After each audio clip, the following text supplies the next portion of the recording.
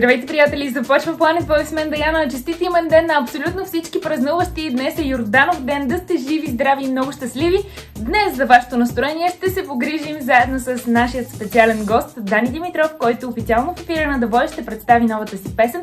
Пак ще се мразя. Гледайте, ще бъде много интересно, забавно и любопитно интервю. Много ми е приятно да кажа здравей на Дани Димитров, който ни зарадва с поредна песен и то самостоятелна. А именно пак ще се мразя. Дани, как си? Където откривам? Първо, аз виждам да, ама да кажеш все пак за зрителите.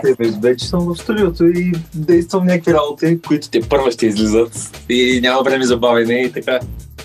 Нямаме търпение да чуваме още и да виждаме още от твоето творчество, обаче сега поводът е а, новата ти песен, пак ще се мразя, в която песен в видеото, т.е. взима участие и прекрасната Дивна, с нея ни започна новата година. Първо искам да те попитам как започна твоята нова година. Новата ми година започна както имаш един лав започна в София и свърши в Банско, ма не беше точно така. Да не е било обратно. Приключи на 1 януари след обед някъде нещо такова беше. После два дена не мога да вляза в час.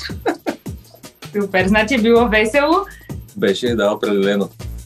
Видях, че сте свързвали техника и ти сподели колко е сложно всъщност след такава голяма пауза, нали, от участие или нещо сте бъркам. Да, да, да, да, да. Ние всъщност на 30 имахме участие. Единственото ни участие от доста време насам бяхме. Значи това съм видял. Да, да, да, да. И направо бяхме забравили как свързваме техниката с а, нашия DJ Дидо, Дивзон, където сме. Викам, леле, човек, какво става тук?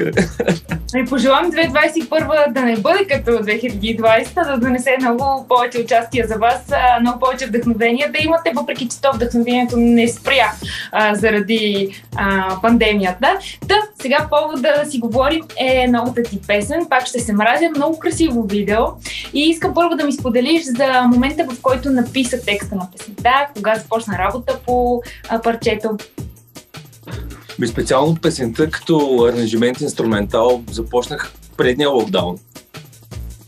Като музика и като всичко. После лятото направих припева и два месеца някъде преди коледа решихме да снимаме видео, обаче още няма куплети. И реално беше един петък, в който реших, че в неделя ще снимаме видео. И организацията буквално направих с 24 часа, а вечерта преди да снимаме видеото нямах куплети, имах някакви нахвърлени неща, обаче реално нямах куплети за песента. И вечерта преди видеото записах куплетите и на следващия ден снимахме. А при теб вдъхновението, кога те връхлите? Имаш ли определено време, в което си забелязал, че наистина тогава си най-креативен? Ми да, винаги е след около 12 вечерта един. Това между другото е... Текстове. Доста често, често срещано при артистите и въобще хората на изкуството обичат да творят вечер. Ами да, иначе някакви довършителни работи по песните, примерно микс мастер, мога да си ги върша през деня, никакъв проблем. Обаче трябва да седна да правя нещо. Аз не сядам, защото трябва да го направя, просто като ми дойде, направо сядам и го започвам. Това е. Добре, предлагам да пуснем видеото, да видите а, актьорската игра на Дани и невероятната дивна, да се порадвате малко на лириките и след малко се връщаме за да си говорим още. Връщаме се обратно в онлайн интервюто ни с Дани Димитров. Говорим си за последната му песен и визуали... визуализацията към пак ще се мразя. А, Дани, искам да ми споделиш за процеса на снимките на видеото, защото вече го видяхме в ефира. Много е хубаво. Искам да те похваля. А, личи се, че сте снимали навън вечерта. Къде точно беше локацията? Колко време от нея каза за организацията на снимките, че отнема 24 часа, а реално?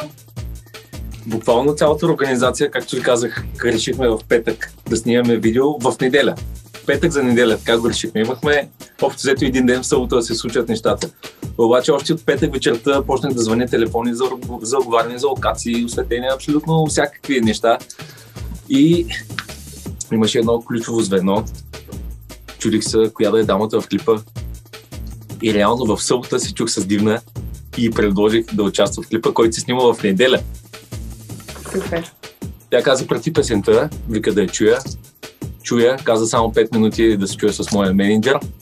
Веднага ми върна обаждане, вика вътре съм, участвам. Това е. И от момента, в който каза участвам, вече звънях за стилисти, за стайлинг, прически, гримове, коси, абсолютно всичко да може да се свърши. На следващия ден тя отиде мериха дрехи, това, това, прически, минахме, взеха и снимахме тук едно място до София с много огньове и така. И се получи, мисля, че доста готино. Много и е красиво. благодарен, че отклик на, на поканата.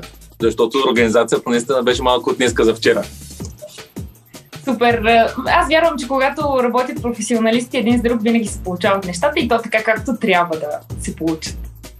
Да. Добре, имаш ли си сега любима песен или такава, която звучаваше твоите празници, нали, съобрази се с плейлиста ни?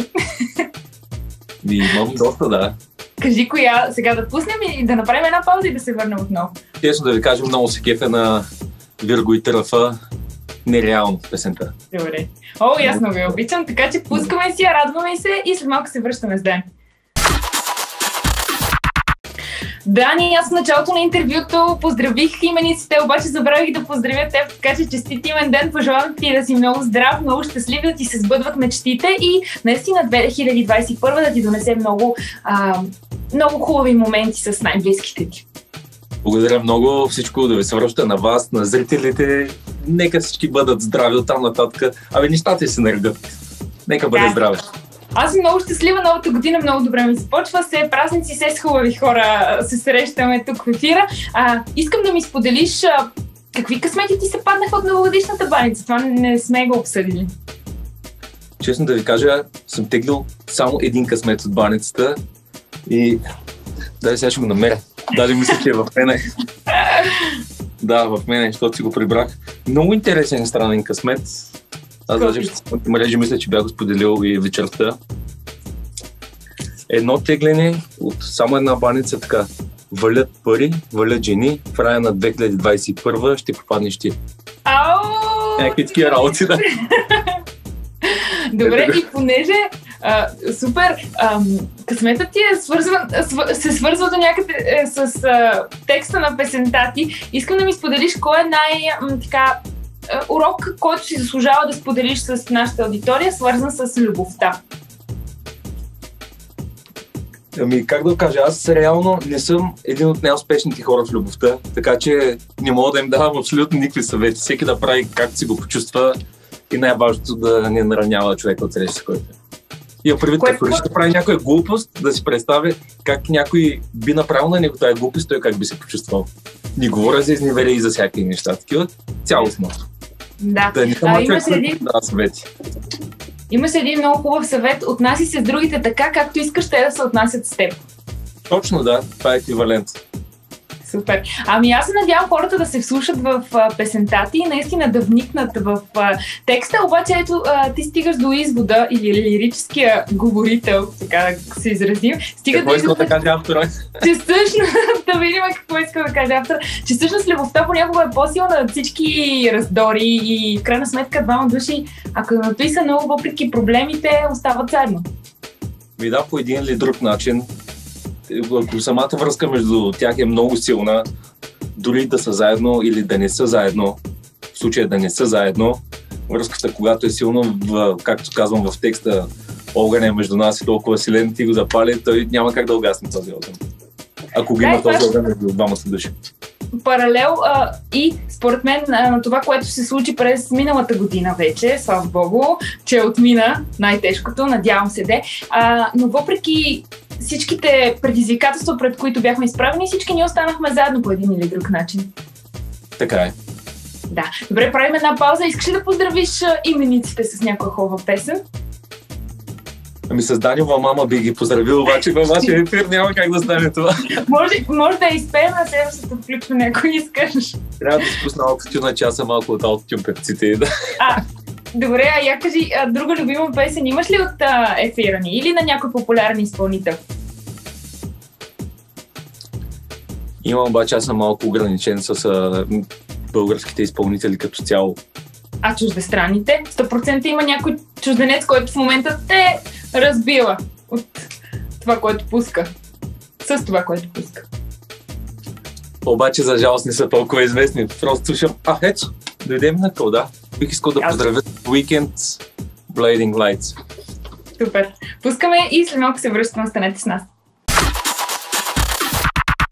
За финал от това хубаво интервю с Дани Димитров, който официално в ефира ни представи новата си песен, пак ще се мрази, която между другото имаш официална премиера в нашия ефир, за което ние много се радваме. Дани, има ли хора? Има ли хора от екипа, на които специално искаш да благодариш от ефир? На вашия екип искам да благодаря супер много за подкрепата и на екипа, който стои зад видеото на песента ми, Костадин Торков Коцката, който се взе изцяло с самата режисура, с, с заснемането, с монтажа, с абсолютно всичко и всичко се случи в много кратък период за което съм благодарен, че винаги ми откликва на моите луди откачени идеи. На Ивета Димитрова искам да благодаря, защото тя всъщност направи целият стайлинг, цялата визия на клипа да изглежда толкова грънчи рокаджийски от всякъде всичко. Това, е основно, това са основните хора, на които искам да благодаря, че винаги са зад мен и. Аз ти пожелавам много успехи за бъдеще. Какво планираш тук на сетне? Още в началото на интервюто каза, че работиш по нови неща. И те са готови, вече около три песни има готови и доста скоро, през доста кратък период с време съм решил да пускам песни, да няма някакъв такъв застой. Защото в... с, искаме парчета, обаче лично мой, където са си, правя някаква, до сега правих някаква много голяма пауза във времето, примерно на годината веднъж, а сега съм решил долу-горе на всеки месец веднъж да пускам песен, пак да видим. Супер. А, в Пак ще се мразя участва Дивна, както казахме по-рано в визуализацията. А, ще има ли съвместни твои проекти с други артисти? Ами да, за сега коментираме с доста хора, но искам да запазя в тайна, не искам да говоря предварително. Както и, казва баща ми, не казвай хоп преди да скочиш. Много точно лав и аз го използвам между другото. Много точно лав. Пожелавам ти много щастлива година и да се срещаме, както сам каза, поне веднъж на месец. Да, благодаря ви. Успешна година и на вас.